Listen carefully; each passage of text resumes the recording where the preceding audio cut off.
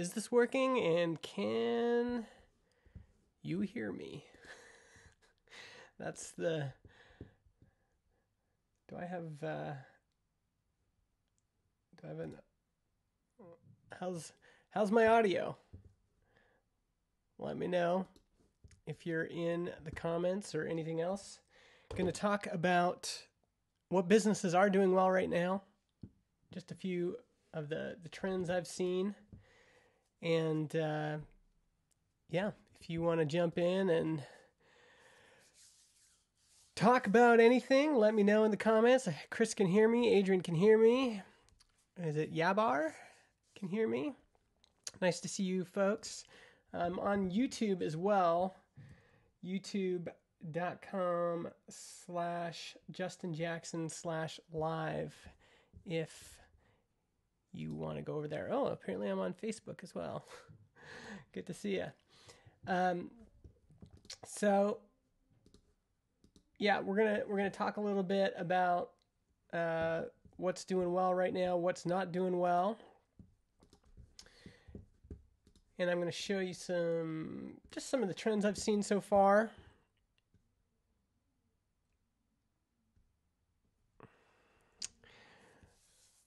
Um, I'm using Restream and uh, Ecamm Live. Yeah, uh, Kelly, I see you there in the comments. Um, and I've actually thought about you quite a bit over these past weeks because clearly a lot of businesses are not doing well. Um, hey, Jason, how's it going, man? Good to see you. I haven't seen you in a while. Got a lot of Facebook people. Where's my YouTube folks at? Uh, yeah, what's going on here? Um, so let's talk about maybe both. Let's talk about, you know, what is going well and what's not going well. And we'll start with maybe what's not going well. Hey, Sam Podlagar. Oh, this is a good question. On um, on Twitch, is my audio synced up with camera and microphone? I was trying to fix that. So, holy Tony Ebden. What is going on here? All it takes is some self isolation to bring us all together here in my basement.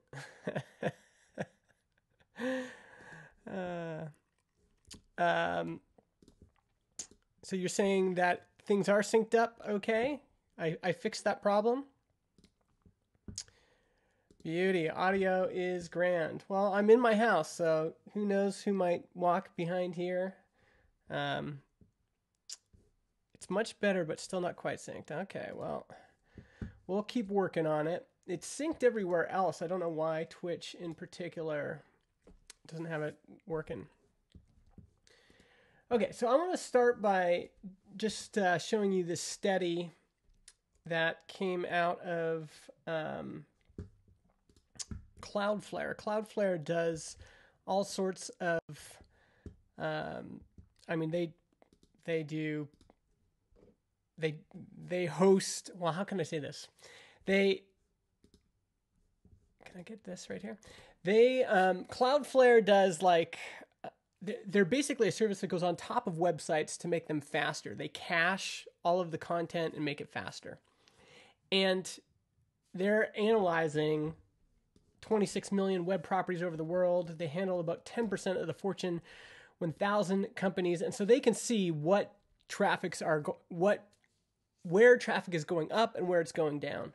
And right now, traffic is down in financial planning, traffic is down in low cost travel and probably uh, travel all the way. Football, I'm guessing all sports, home repair and DIY down 23%. Buying and selling homes makes sense uh, because people are uncertain right now. And dining out is down 18%. And this was, you know, I, am guessing these numbers are going to c- continue to get uh, ex- exacerbated. is that the right word?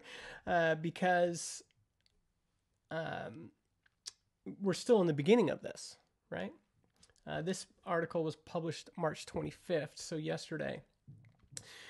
And, uh, you know, Dan Price has a, a payment processing company primarily for small business, small shops, and restaurants. And here is what they're seeing across the board. Um, by the way, is that is that big enough for you folks? Can you see that at home? Do I need to uh, pump that up a bit? Uh, let's see. So current, I can probably zoom in a little bit. Um, some basic math on how dire this is for small business. We process payments for small biz across the board. Their revenue is down 50%. How long the average small biz can last like that before going bankrupt? 32 days for restaurants. Retail, it's 38 days. All small biz, 54 days. And then how long small businesses in the 25th percentile can last based on the current 50% revenue, revenue loss. Restaurants is 18 days, retail is 20 days, all small biz 26 days. Basically, it's shut down immediately or have a couple excruciating weeks before death. And then he goes on to say small businesses go belly up fast because it's often not possible to build up savings. The median small biz makes an operating profit of $7 a day. A lot of them go into debt and wait to make real profits years down the line if they can get there. So a month way off target. So a month of you know not earning revenue basically means death for those businesses. And this is what's been heartbreaking for me, and I know for a lot of you, to see your favorite restaurants struggling. Folks like Kelly, folks like uh, my friend Andrew, and lots of other small businesses. I mean, uh, some small businesses, some small restaurants have been able to stay open for takeout, but I'm I'm thinking about the uh, the aesthetics place in um, my office building in the basement, there's an aesthetics place, Mela's Aesthetics. Well, you can't do nails and hair and everything else right now. And so they have no money coming in to pay for groceries, to pay their mortgage, to pay commercial rent. And even though help is coming, it's still, if you've never been in a cash crunch, you don't know how painful it is to be in the in between time to have all of your revenue just that gets turned off and yet all everything else is still running even though there's the promise that the government might help with mortgages and rents and all those things.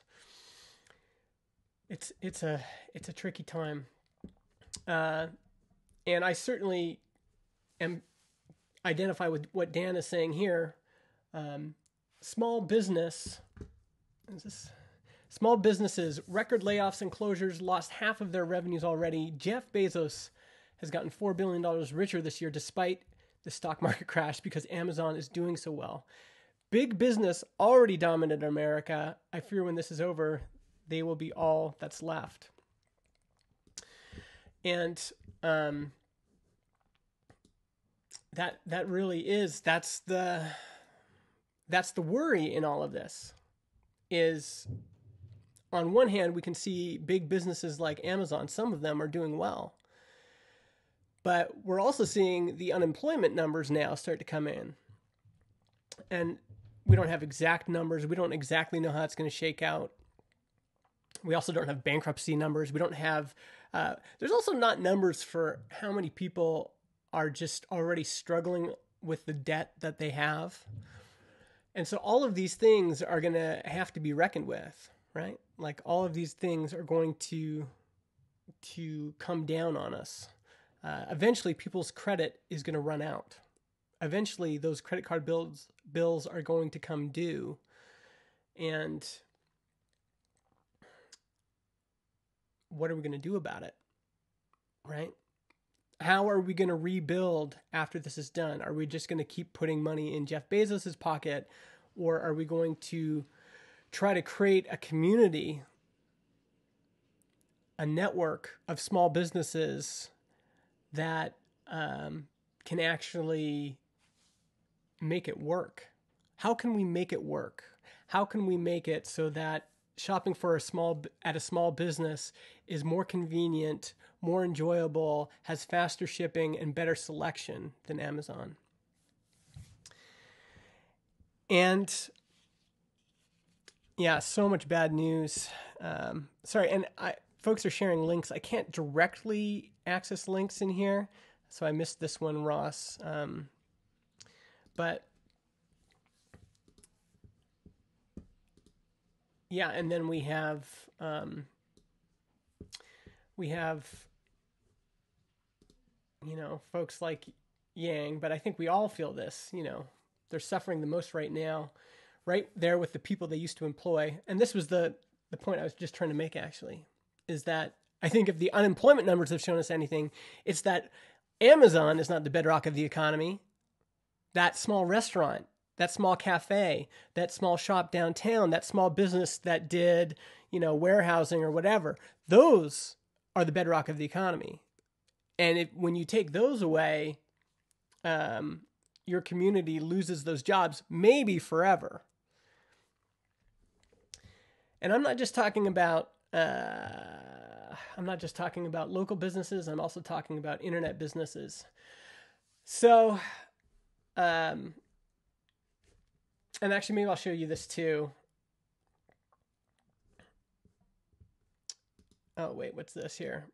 More than 70% of small business owners who took part of the survey said this, they'll be forced to close within three months. Yeah. And it makes sense. You know, I've been there. I used to own uh, a snowboard shop in Alberta, and margins are low. You basically have every complexity, logistical complexity you can imagine with a small business.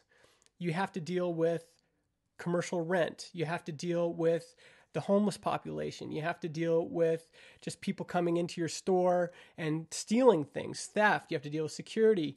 You have to deal with GST and remitting sales tax. You have to deal with inventory. You have to deal with ordering inventory.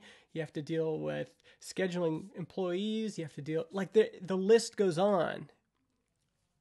These businesses are incredibly difficult to run, but um, they have all of these risks as well.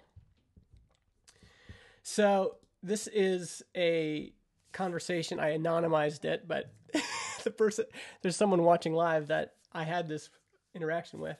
Um, this was a conversation I had because I was complaining that you know Square, the point of sale system, they, they I've been trying to use their online ordering system to order from local restaurants and cafes. And I'm like, man, this checkout is brutal. And some of you have heard me ranting about it. It has like 17 different fields and but he responded saying, you know, they're overwhelmed right now because vendors are just now waking up to the idea that we need to set this up now. And in many ways it's too late. Like uh, I saw some other um, another stat. I'll have to find the the source, but the the source basically said um, if the the folks that are doing oh you know what it was a Grubhub. I'll find it. Uh, Grubhub was saying that folks who had already set up online stores and uh, local delivery were being able to you know, were weathering this a lot uh, better than folks that, who had to set it up instantly, which makes sense, right? Uh, yeah, this is the article. And yeah, I think um, I can't remember the exact quote is, but you know, they're receiving 10 to 15 times their usual restaurant leads. Um, and but the demand from consumers is a mixed bag, right? It's just everyone's had to change so quickly. Okay, so let's talk about uh, what businesses are doing well right now. Let's move this over here. Uh, so let's go back to this um, this study and let's see what what searches are up. So let's highlight this with yellow. So tutoring is up right now. Makes sense. All these parents are trying to figure out what to what they're going to do with their kids. Uh, let's pump this up. Um, so tutoring is up. Politics, television programs up 210%. Gardening up 200%. Children's education. Looks like religion religious topics are up. Uh, information and discussion about board games. Uh, books, desserts and baking. National news is up. That's definitely true. And I think, I mean, this list is by no means exhaustive, but what's instructive about it is we as business owners and creators and makers need to be thinking in this new world, not just now, but also in the future, what are people going to be searching for now? And I can tell you one company whose business is way up is Gumroad. Gumroad is a uh, platform that allows people to sell products online, and they're seeing a huge rise in interest because suddenly people are realizing, oh, I need to sell my book online now, or I need another source of income. And I know, speaking to my other friends that are in similar businesses, anyone right now who is offering people another way to make an income, you know, maybe some, a way to make some money on the side, maybe a way to, uh, you know, just anything. People are desperate for anything. Um, those folks are seeing a big rise in interest. And I want to be sensitive right now to say, um, in one ha- on one hand, this is the new world. I think folks who you know maybe didn't have multiple sources of income in the past, in the future they're going to want multiple sources of income. And so platforms like Gumroad, like Podia, like Memberful, like MemberSpace, they I think are going to see a lot more interest.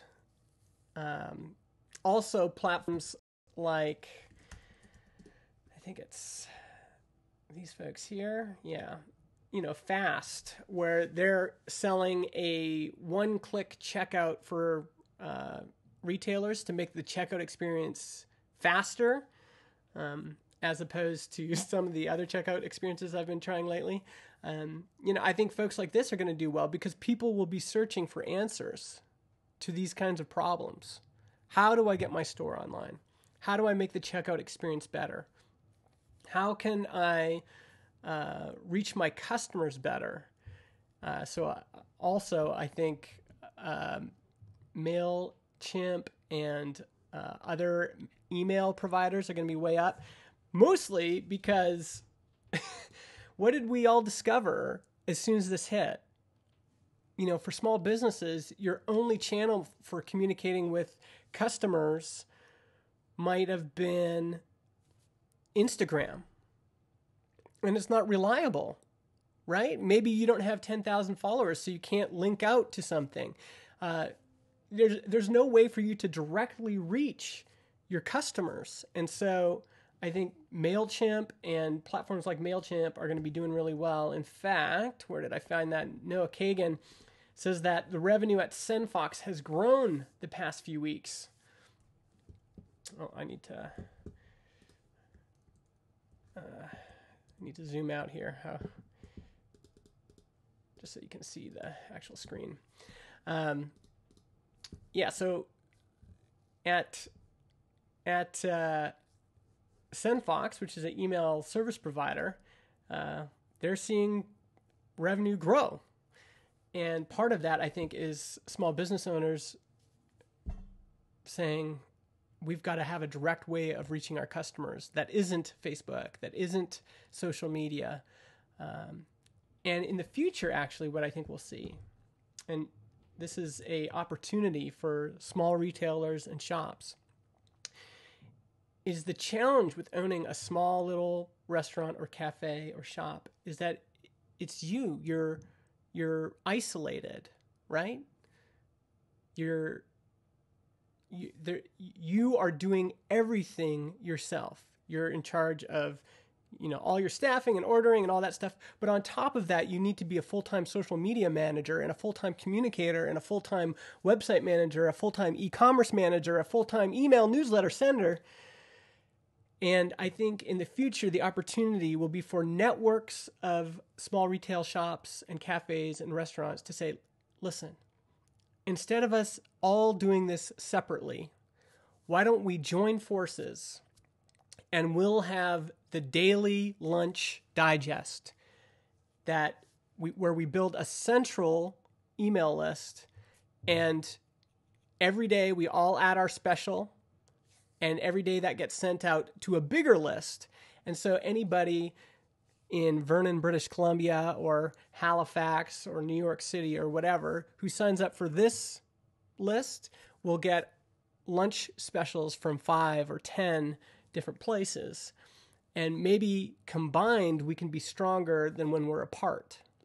And I think it's this kind of thinking that we're going to need to fight the big behemoths like Amazon together, there may be opportunities to create network effects and, you know, uh, be stronger than if you were doing everything separate in a silo.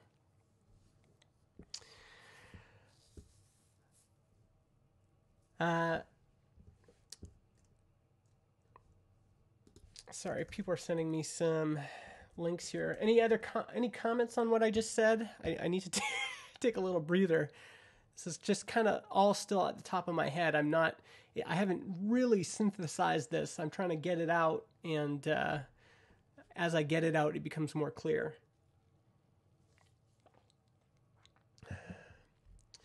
Uh, no, David, this is live. This is not uh, some sort of pre order video.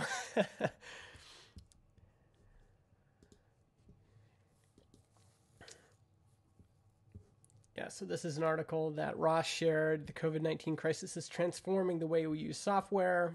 Remote software is eating the world.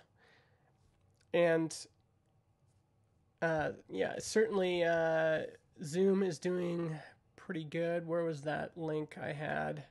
Here's Zoom's increase in usage. And uh, I mean, the other thing is we can see some of this just by observing, right? All of us are watching our friends and our employers and our clients. We're watching them we we we don't need to see this chart to know that zoom zoom usage is increasing. We we know this uh, intuitively because we can see it happening more and more people are going to Zoom, many for the first time. And so, yeah, remote tools are going to do really well right now. Audio conferencing, video conferencing, webinar, collaborative whiteboarding, virtual classroom, remote desktop, um, online learning platforms. Yeah, these are all going to do really, really well. And uh, it's something to think about how if you're in the place to pivot your business or you're in the place to build software, this might be the kind of software you want to get into. It's not a surefire bet. Zoom's got a big head start, right? This is this is part about swimming in the water and looking for the waves as they come. If you're already in the water looking for waves, it's a lot easier to spot them or be in the right place at the right time. Some folks are saying that VR might be big. I know Noah Kagan was uh, bullish on this. I'm not as bullish on it, mostly because I haven't seen any evidence of it yet. Lots of evidence of people using Zoom calls at their office or to keep in touch with family. You know, I'm seeing lots of screenshots of people doing FaceTime calls and Zoom calls. I haven't seen a lot of people running out and buying VR yet, and I like to see some evidence of the market pull that people are actually going out and doing these things en masse. And so I, I I'm not as bullish on VR. I could be wrong. Um, Baby Layton says hi. Oh, this is Ashley. I used to work with Ashley. He's wondering what careers he should get to in a, get into in about 18 years. It's a good question. The you know, I'm actually going to be a little bit um, I'll say something counterintuitive, which is I think a lot of folks are going to based on this experience, are going to say, I am never starting a local business. I'm never going to start a coffee shop or a small little uh, retail store or a restaurant. And I think we need to be careful about that because my sense is that people's desire to be in common spaces and to be relating with each other in public, I don't think that's going to go away. I think what does need to change is the business model that a lot of those places have. Uh, you know, margins are going to need to be improved. There's going to be need to be a shift in how they do business, but they're not necessarily bad small businesses to start. I think they'll be still difficult businesses to run, but I think there will still be opportunities in small businesses, and maybe even more than there would be normally software is probably going to be a thing for a long time. Technology companies are going to be a thing for a long time. Um, and a lot of this will depend, you know, 18 years, thinking 18 years in the future. My, my daughter is going to university right now, and I'm trying to think, like, what's can the world like going to be for her in two years, much less 18. But a lot of what the future looks like in 18 years is going to depend on the decisions that we make as a society now. Are we going to bail out airlines with no strings attached? Or are we going to say, you know what, maybe instead we should be investing in small businesses? And if we do offer bailouts, then maybe those need to have a lot of strings attached. Um, I do think lots of businesses will continue to be you know, there'll be lots of opportunities on the internet, Lewis. I'm just saying don't ignore local. I think local still has a future. Here's my buddy Steven. Uh, what happens to the 30 to 50 year old demographic in the work field once these automated systems eliminate jobs? I mean, this will be an issue. Although, to tell you the truth, I think um, we don't really know what's going to happen. But Stephen, here's one scenario: is it's not the 30 to 50 year olds that have to worry; it's the 50 to 70 year olds that are still working and still commanding these really high salaries. What if, after all this is done and all the dust dust settles, a lot of these businesses are like, let's get rid of those people. They're costing us too much. Let's get these hungry whippersnappers. And so, again, none of us know, but there's a possible future where uh, there's actually a lot more opportunities for people, let's say from 20 to 50. Um, and it's going to be the 50 to 70 year olds who are still working and uh, have built up a high salary over the years on the salary the salary grid uh, that might be at the most risk but it's hard to tell uh, automation is definitely a concern. Although I used to be way more concerned about it, and I've kind of uh, backpedaled a bit. Partly because I think our there's actually not a lot of good data on how many people are losing jobs or having their jobs downgraded by automation. And I know, like, intuitively, it seems like, oh, that must be happening. Like, people must be losing jobs from robots and artificial intelligence all the time but there's still not a lot of evidence of that. And, you know, I used to be the person that was sounding the alarm and showing that map of the United States that shows that, like, truck drivers is the biggest employer for middle class people, like being a truck driver. And you know, as soon as these self driving semi trucks come out, all of that's going to be eliminated. But we still haven't seen that happen. And in truth, it might be 10 to 20 years before that really happens. Um, and so I'm not saying I'm not worried about it completely, but I'm way more worried about Amazon than I am uh, automation and artificial intel- intelligence right now. So, um, b- by the way, I, I just I don't know if I would build products for the VR market. Who do you know, like a normal person or a normal family that is buying VR gear and VR software right now in games? It's not like look at your friends. What are they actually buying? They're buying iPads for the kids. They're buying Nintendo Switch. They're buying, you know, uh, since we could say that we could do this in the in the comments here. What has your family bought since the since we all went into isolation? Uh, we bought a game for the Switch called Cuphead. We've bought lots of mobile games uh, for iOS. Um, we have bought some things from Amazon. And I hate it, but we have. I, you know, uh, we've bought as much as we can from local restaurants. We bought a ton of things from grocery stores. Uh, so we need to pay attention to what are people actually buying where are people actually in motion not exactly where do you think they might be in motion this is where that wayne gretzky uh, quote actually breaks down where he says skate to where you think the puck's going to be not where you know whatever that is and uh, i with commerce and business i think it's way wiser to observe what's happening at the grassroots and where people are actually in motion now. Where are they actually spending money now? What points of their day are they taking out their wallets and actually paying for something?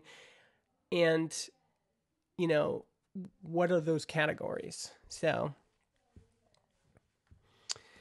yeah, Rob, totally on the money. People still looking for experiences which cannot always be found online, so local businesses are still important. Folks, I want to go to a restaurant so bad. I'm tired of being here. I want to go out with friends. I want to have a drink. I want to meet up with people at the coffee shop. I want to go for a date with my wife. Like, I, local, uh, at least for me, I miss local right now.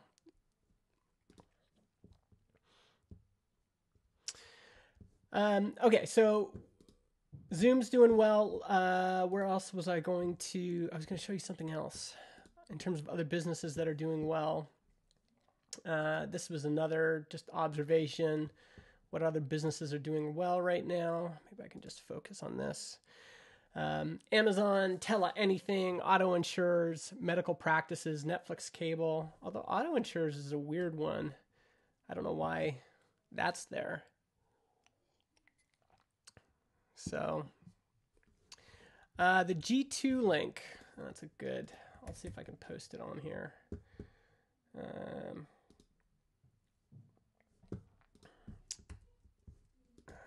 oh, sorry. Let me try it again. That's the G2, G2 link. It's pretty long though. Uh, you probably can't read that though.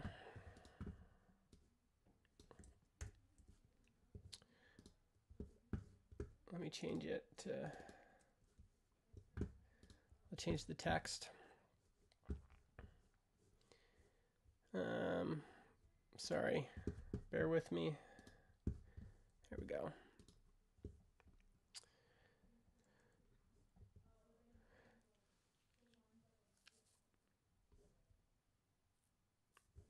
Uh, sure. The title is the COVID 19 crisis is transforming the way we use software.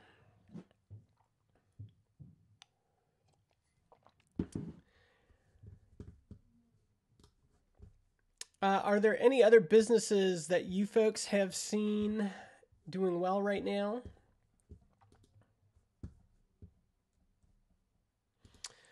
Um, oh no, I just messed up my, messed up all my text here.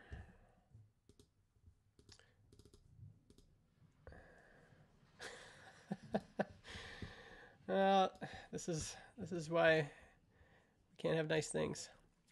Um, Lewis, I wouldn't be starting any business until I can see that there's a market pull. What are people pulling for? And right now, uh, consulting, you know, everyone's checking their budgets right now. I think there's not a lot of pull there right now, although consulting will come back. So if you want to swim out to a good surf spot, what you think will be a good surf spot in the future, metaphorically, and you just want to hang out in the water because you think, oh, consulting's going to come back. So when that wave comes, I'm going to be ready to swim out, then that might be a good plan. But um, I personally like to see where is there already pull? Where is interest increasing? Where are people in motion now? Where are they spending their money now? Yeah, fitness at home, medical equipment production, for sure. Uh, oh, there's this tweet that I can't get to. Let's see if I can. Let's see if I can get there on. If I if I join my own. If I join my my own live stream,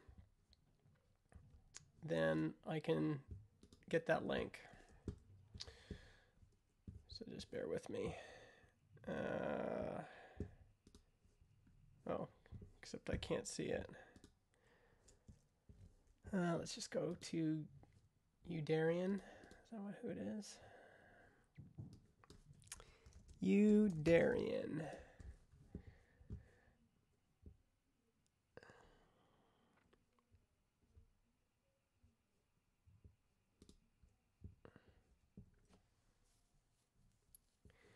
So I think this is the right tweet just ran a poll inside of our community on how COVID 19 has impacted revenue for seven to eight figure store owners. There's a lot of pain out there, especially for a subset of merchants, but median decline in revenue was 10%. I would have guessed it was closer to 30 to 40% for most non Amazon sellers.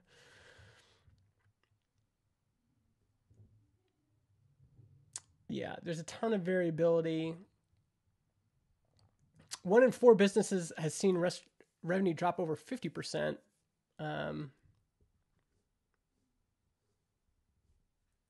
one in eight merchants have seen revenue explode by 50% or more. Lots of extreme winners and losers. I mean, this this kind of this kind of uh, highlights how things are right now. Of course, yeah, toilet paper.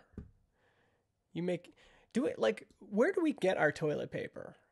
Do we, we're not making that in Canada, are we? Or are we? Uh, let's see if I had anything else here. So, I talked a little bit about businesses that I think are doing well and will do well in the future. Yeah, I think, I mean, I'm certainly, I can tell you for Transistor, one thing I'm thinking, because we do podcast hosting and analytics. And um, I would say growth has slowed down, um, but we're still growing. I think the economic impacts of this are going to hit us later. Need some water. I think the economic impacts of this are going to hit us maybe, I don't know, one, two, three months from now when people are, are and businesses especially are evalu- evaluating their spending and going, okay, well, how important is this channel for us? And I'm contrived. Contrived, I'm I mean, looking at the businesses that are doing well, so let me kind of unravel my thinking here. Uh, we have a private podcasting feature that allows you to um, create a podcast that is subscription only. Um, and I can show it to you, I guess. And so something I've thought about is, you know, maybe we should be making these private podcasts. Uh, so basically, what you do is you can send an invite link to, in this case, I have a paid community called Mega Maker Club, and you can send an invite link, and they can get this private podcast. So this, in this case, this private podcast is only for paid members of this community that I run, and um, I've thought about, you know, what are some ways we can make this more, um, you know, we can p- enable other people to do the same thing, to have people pay to access private podcast content. And I think that still could be a viable thing to do. Um, we could also integrate with our partners like MemberSpace and and other pl- people that are already doing the the billing side, and then they can just connect to Transistor's private podcasting thing. Uh, so I think that will, you know, that that's one hedge that we're using as a podcast hosting company. Um, uh, we've also seen a lot of interest from companies that are now remote and are looking for ways to communicate with all their employees worldwide. And some of them are thinking, well, why don't we use a private podcast? So I think that's how I'm starting to think about it. I think um, you know, the hobbyist podcaster that's just looking to start a show and get it on Amazon, uh, Amazon, on Apple Podcasts and Spotify, uh, we might see some softening of demand there. Um, but maybe not. Maybe a lot of folks will be in their house and are looking for something to do and will record their first podcast. So, yeah, I think there's still a lot of this remains to be seen. Uh, all right, I'm getting a lot of great comments here. So, um, do you think we'll wake up in a bit and stop giving money to the sports and movie stars and value our frontline employees more? Uh, actually, I think sports, I think celebrities will do really well. I think um, services like Cameo, Cameo, um, I think companies like this are going to do really well because we people human beings like things that are familiar. And so you know there's lots of artists that are live streaming their concerts for free right now. But the one that i noticed was uh, who's that country singer? Um, oh look there me there's me live. Um, who's a country singer? Um, what's his name? He's he uh, married to Nicole Kidman. Country singer married to Nicole Kidman. Uh, Keith Urban. So Keith Urban did a live concert on Facebook, and um, you know people pay attention because they recognize Keith Urban.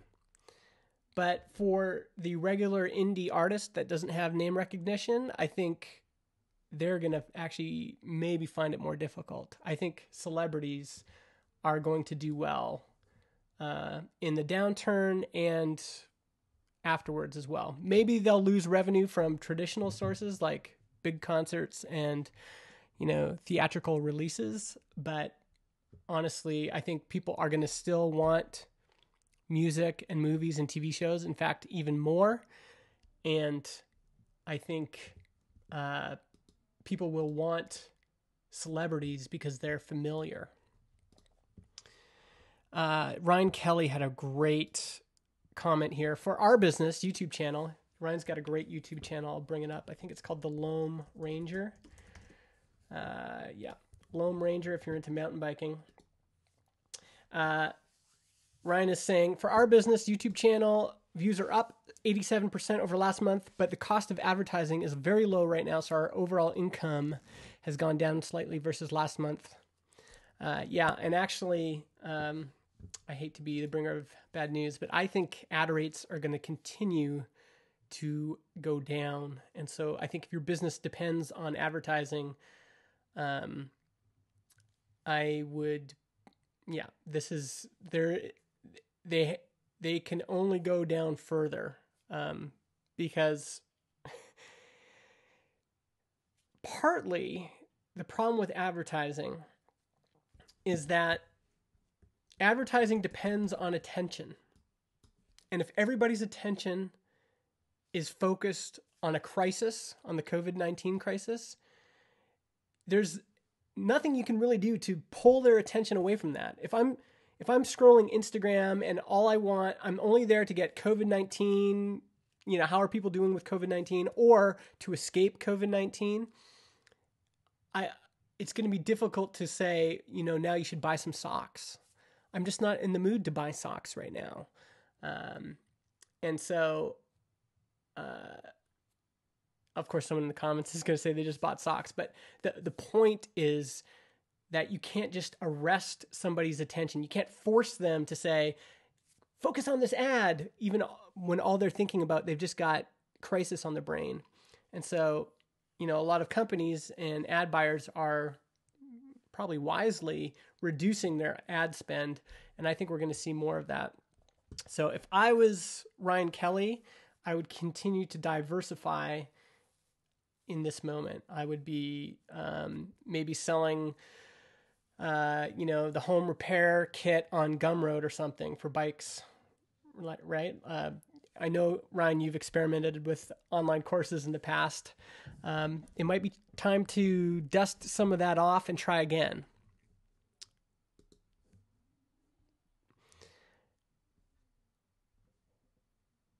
Yeah, so Dropkick Murphys, yeah, but it's all going to be name recognition. Those are the folks that are going to do well.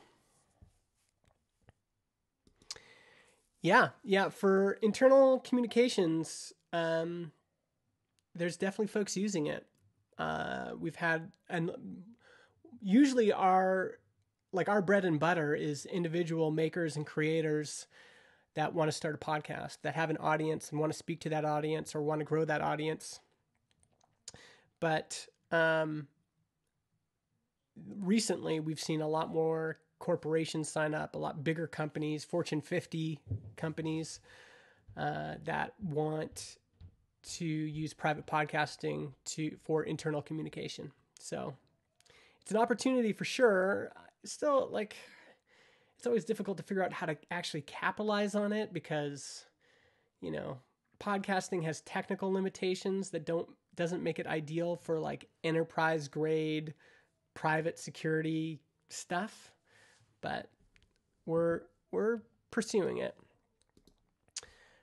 Ad revenue only makes up 25% of our total Loam Ranger income, thankfully. As long as our sponsors don't go under, we'll still get paid. The higher viewership looks great for next year too. Yeah, that's true. So if you've reached out, if you've built relationships directly with sponsors, that uh, is another opportunity. I'm I'm still a little bit nervous about it, Ryan, but maybe, maybe you know more than me. Uh, the the I think it's great. I think you know there still will be businesses that are looking to spend money on sponsorships, but I think I, I'm worried because the ripples of this are going to continue to go through the economy. And if you think about mountain biking in particular, you know, Silver Star mountain right now is closed completely. And this would be the time, you know, coming up here when they would be out preparing all of the downhill tracks. And you got to guess that they're doing those calculations in their head of, okay, like if people are still in quarantine in June, is it worth, you know, making the trails? Or maybe people are in quarantine and they just can't get the workers like there's all sorts of reasons, but maybe on the other hand, listen to me going all over the place. On the other hand, I mean, I'm I've been on my bike quite a bit, and um, you know, just going out for rides, social distancing, and maybe there will be just a huge demand in mountain biking stuff in particular. And when the quarantine ends, there will be all this pent up demand, which is good too.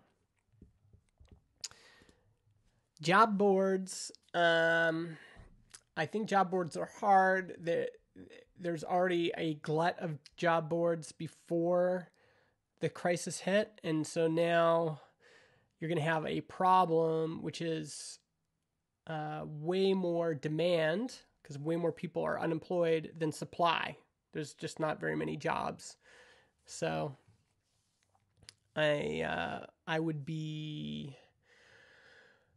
yeah, I, I probably wouldn't start a job board personally unless you had a really good angle on it or some sort of natural advantage. By the way, Ryan, I need your camera advice because I've got a little bit of grain here. You know, I still don't know how to use this camera. I need you to like help me with my, uh, help me figure out my, all my, my settings on this camera here so that um, you know, I, I don't get all that grain stuff. Hey, Christoph, how's it going? Oh man, you just missed all the best stuff. You're just joining now. There's, I, I can't. You're you're gonna have to rewind. uh, I've just been asking people what, how the downturn is affecting their business and um, how they think it might affect their business when as the shit continues to hit the fan, um, and what businesses are anti fragile, recession proof, um, what businesses are seeing increased demand right now. And again, like to me, this um, this email I got from Gumroad is just crazy. Like the number of people looking to start online courses and sell digital downloads and everything else. Um, just tons and tons of interest. Uh, and I'm seeing this across all sorts of platforms. The, the, the tricky part about this is yes, course platforms and online digital sale platforms are all seeing an increase in demand, but it is but that doesn't mean that the demand for those kinds of products like online courses and digital downloads is necessarily going up at the same rate. And so we're going to have the same problem, which is uh, the supply of digital downloads and courses and you know all the things an independent creator could sell online are going to go up that's the supply and the demand is you know who knows where it is so when you have more supply that adds other challenges. Um, oh, by the way, I think my friends at Tuple are probably doing really well right now. Uh, for sure, they have seen some good business from this because now everyone is thinking about working from home and uh, you know companies are trying to figure out how to manage all the software developers they have so uh, right place, right time for tuple and pair programming apps. Although I noticed that they finally have um, some competition. What is it? Former Screen Hero. Uh, where is it? Um, TechCrunch. So this uh, looks like the the one of the founders of Screenhero has just um, launched a similar tool, although not specifically aimed at pair programming, but that might uh, that might give uh, Tuple some competition. But again, they've got a head start, which is always the best place to be. Is always to have a head start in the right direction when a crisis hits, but it's hard to know what crisis is going to hit, and so it's uh, it's hard to tell. Uh, you, you, know, you, some things you can't forecast. Although I think having multiple um, streams of income is helpful. For myself, um, one way this is looked, it, and unfortunately, this is probably the answer, is that over the next five, ten years, you probably want to be building something like an additional source of income that will help provide for you when the shit hits the fan. The the folks that are getting out there now and are like just trying to um you know trying to build new sources of income now that's going to be so difficult because uh, it's hard to it's hard to ramp that up super quick. And so uh, I mentioned earlier, I've been building this online community for bootstrappers called Mega Maker since 2013.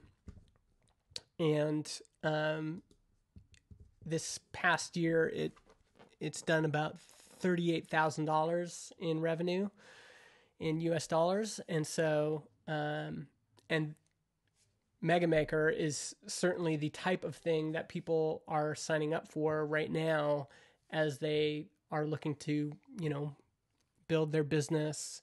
Um, and they're looking for community and support in doing that. So, being in the water already, having already had this pre existing momentum, um, was helpful for me because now I've got this coming in, and, uh, you know, if uh, transistor revenue goes down, uh, I'll have something else I could rely on. And uh, interestingly, actually, uh, even the course sales for uh, this course that I did. Back, I think I launched this in 2015. It's not selling as well as Mega Maker right now, but um, it's still selling some copies. So there's no easy answers right now um, for this stuff, except that uh, you're probably not going to be able to ramp something up right away.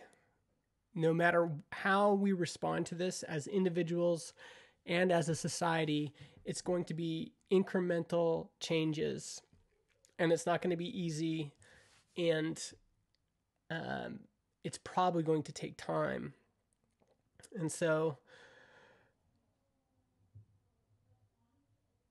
yeah, yeah, and I, I'm actually not marketing anything right now.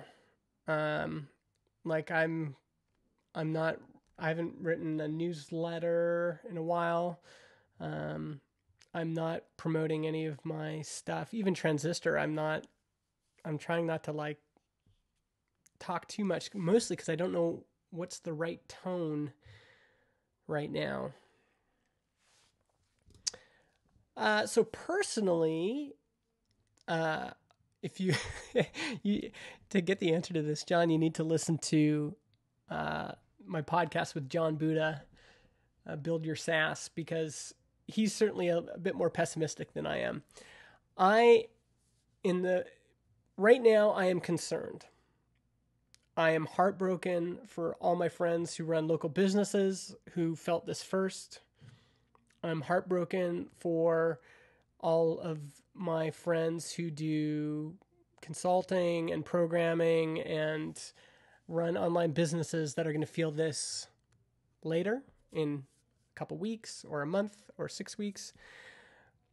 But I'm also hopeful that folks like you and me and everybody else here are going to use this as an opportunity to rethink society a bit and to think about how things could be better. How can we enable that local restaurant to have a better business in the future than they did now?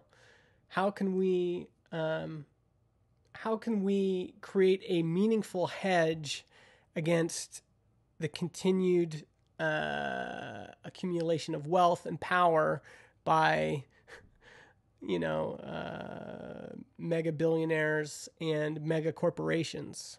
And I'm not necessarily saying, um, like I've said before, I think Amazon should be broken up. I don't think it should be one company.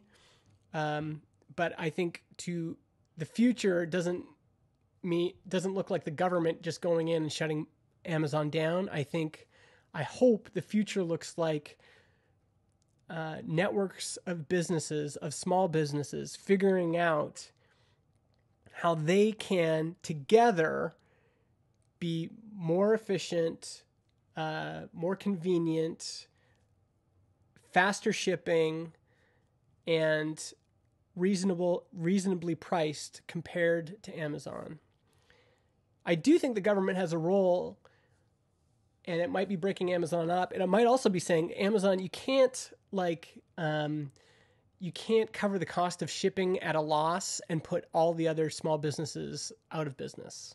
Like governments can res- could theoretically restrict that kind of behavior, and I would be in support of that. I think this kind of um, what do we call that when you go in and you just like you lower all the prices just to destroy all the competition which is behavior that us in the tech industry has encouraged and cheered for.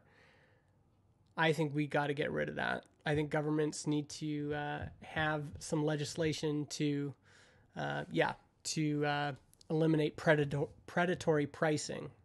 So, yeah, and like what Walmart does, there needs to be some sort of control in place for that.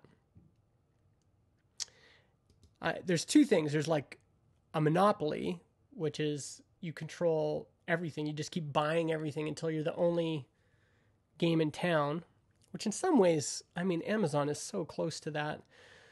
But um, the the uh, I think with the right kind of um, limits and legislation, Amazon can continue to be a company, but governments can do some things to uh, give small businesses that don't have the advantage of all of this capital from the public markets and venture capitalists and everything else, we at least need to give them a fighting chance. And part of that will be small businesses banding together and creating these meaningful networks. And part of it will be, um, part of it will be technology companies enabling those kind of networks and then part of it will be the government actually, you know, restricting certain bad behaviors. We've been going about an hour. Uh, anything else you want to ask me before I go? I um, I probably should wind this down here, especially since uh, I'm surprised the family hasn't uh, come and walked by here.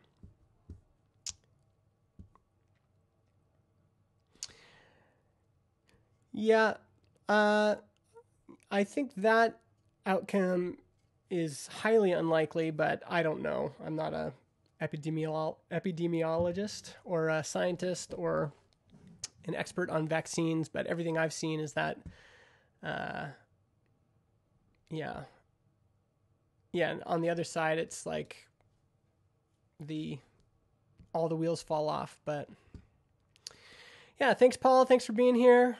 Thanks, Paul. Oh, wow, we got a lot of Pauls. Yeah, lunchtime. Uh, if you want to be a part of MegaMaker, you just go to megamaker.co and uh, you can apply there. Uh, let's see if I can put it up somewhere. It's very manual to type this stuff in, so uh, megamaker.co. Uh, you just add yourself to the the email list there, and um, if it's the right fit for you, you can join. It's a it's two hundred ninety nine dollars to join, and that's for lifetime access. So if that's something you'd like, feel free to go there. And yeah, folks, um, stay well, stay healthy. I love you all. I hope you're doing well, and um, we're going to get through this. Let's keep having these kinds of conversations and articulating these things so we can figure out a better future. All right? Stay safe. See ya.